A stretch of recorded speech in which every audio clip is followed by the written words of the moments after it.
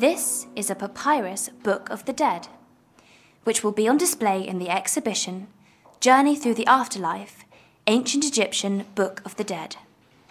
Before it goes on display, the old Victorian paper backing needs to be removed.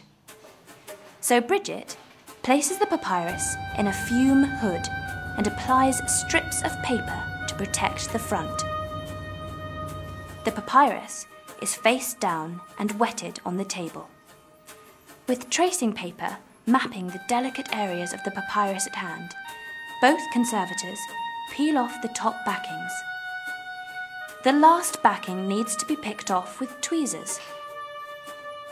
The back of the paper coming off is brown because it previously was painted to blend in with the papyrus. Whilst the conservators continue to take off the backing, they ensure the papyrus is moist by spraying water on it. Picking off the backing took over two hours, so, to save you time, we sped up the process.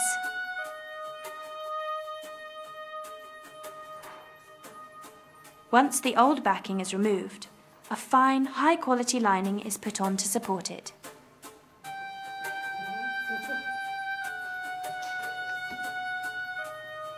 The newly lined papyrus is dried between blotting paper under glass and weights and lies there for several weeks. When Helen and Bridget are confident the newly lined papyrus has dried, they remove the facing that was put on to provide temporary protection.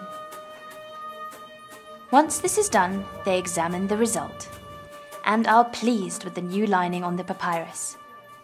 They will soon get going with the rest of the conservation work that is needed on the papyri featuring in the next major exhibition.